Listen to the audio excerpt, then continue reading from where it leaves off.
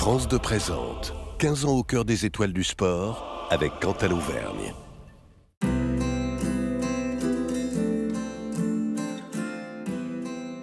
Il y a un moment euh, qui m'a marqué, c'était sur mes premières universités euh, en 2014.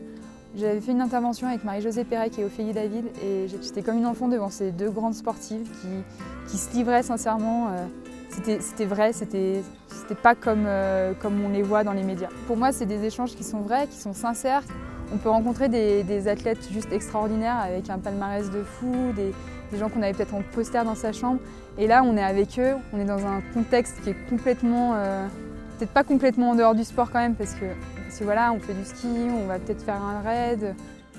Et du coup, on apprend à les connaître et puis on se rend compte que bah, finalement, c'est des gens comme nous.